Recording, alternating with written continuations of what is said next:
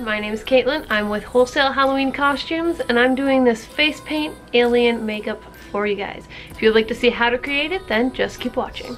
So I'm starting off by putting on a black wig cap just to hide my hair and make it not look so silly. And then I'm going in with a washable non-toxic glue and I'm just putting that on my eyebrows to hide them when I paint. Now with a fine tip brush and some black paint, I just created the tiny inner mouth on the nose and the larger wide mouth around my face. Now with the same tiny brush, I'm just creating semicircles for the top jaw teeth and then the bottom jaw teeth. With a flat brush and white paint, I'm then going along the semicircles and creating the teeth down.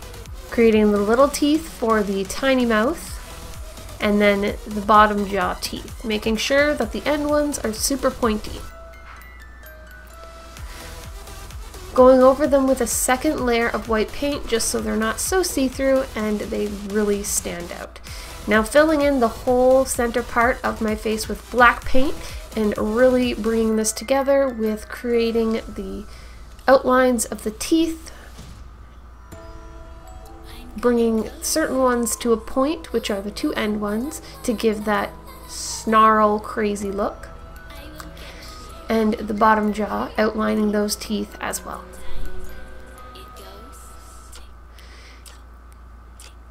Filling in the rest of the lip that we outlined earlier.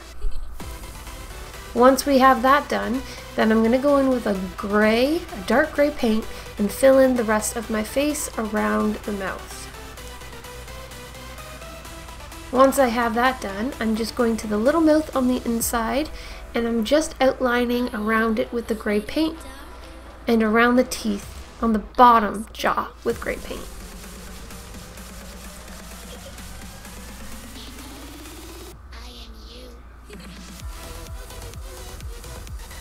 Now with a thin brush and black paint, I'm just outlining the gum line around the teeth for the little mouth, and I'm creating a little dry brush effect shading look around the mouth to make it look like it's popping out of my face and out to bite ya.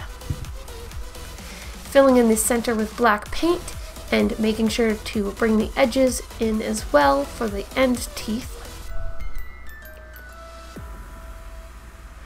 and then outlining the tops of the teeth close to the gum line. Now with a dry brush effect and some black paint with a flat brush, I am just lightly going over the gray that I did earlier to blend everything in more. So on the forehead, going side to side, and then bringing it inwards on the side of my face to blend everything in together and give it that highlighted look.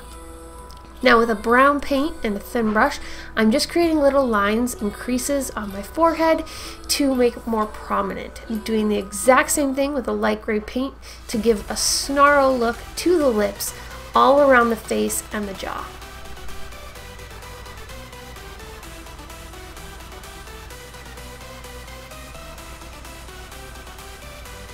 Taking the same gray paint, I'm going on my top jaw and I'm creating the highlighted gum line look around the teeth. Now with a white paint, I'm creating little highlight marks on the forehead, big circles, and then I'm also outlining around the mouth for more of a snarl, wet look. Don't forget the bottom jaw as well. Now with a black paint, I'm dry brushing all of the teeth to make them look a little more worn in and creepy and snarly, you know what I mean? Just giving them that look, making sure not to forget the bottom jaw as well. This really dirties them up and look more realistic. With light gray paint, I'm just outlining the gum line again like I did to the top, and then bringing in slowly the jaw on both sides. With white paint, I'm just creating little dots all around the teeth and gum line to make it look glistening and wet, kind of snarly. Not forgetting to do the dots on the center nose mouth as well. That is it. I really hope you guys enjoyed it. Don't forget to like, share, favorite, and subscribe to Wholesale Halloween Costumes, as well as check out my channel, Caitlyn Kreklewich, for more looks like this. Thanks for watching. Bye!